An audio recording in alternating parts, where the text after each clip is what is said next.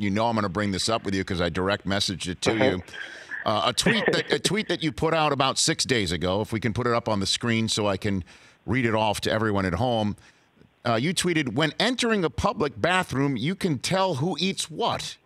Uh, Yeah. Tyrann, uh, can, you- can you put can you put a little bit more on that, uh, more meat on that bones, if you will? What are you talking about? Well, you know, I just happened to tweet that early this morning, and I'm just like, man, I can, I can, you know, you walk in the bathroom and you can, you can literally smell what everybody ate for dinner last night. And um, in, in my mind, Rich, um, nobody should smell that bad early in the morning. Right. But um, I guess, I guess we all have different diets. So, So, was that your teammates you're referring to? Is that what you're saying? Was that a teammate situation?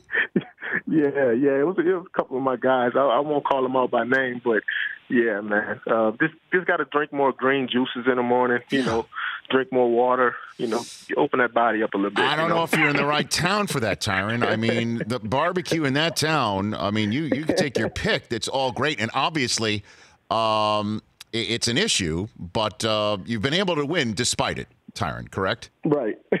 correct, correct. So that's good. Man, you're you're really good at what you do, Tyrann. Um, clearly, all senses. For more of The Rich Eisen Show, tune to Audience Channel 239 on DirecTV for free on BR Live or download the Rich Eisen Show app.